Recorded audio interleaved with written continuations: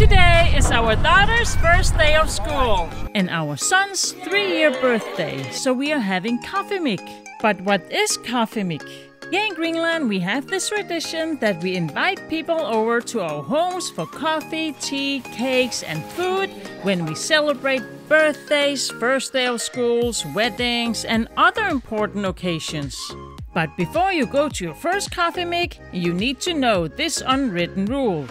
You can only stay at the kaffemik for 30 minutes to an hour, so there'll be space for other guests during the day. Except if you are a very close relative, like a grandparent, uncle, sister, you can stay there for longer and help out. So please, when you go to a kaffemik, don't stay there the whole day. Life is amazing. Kayo. That goes!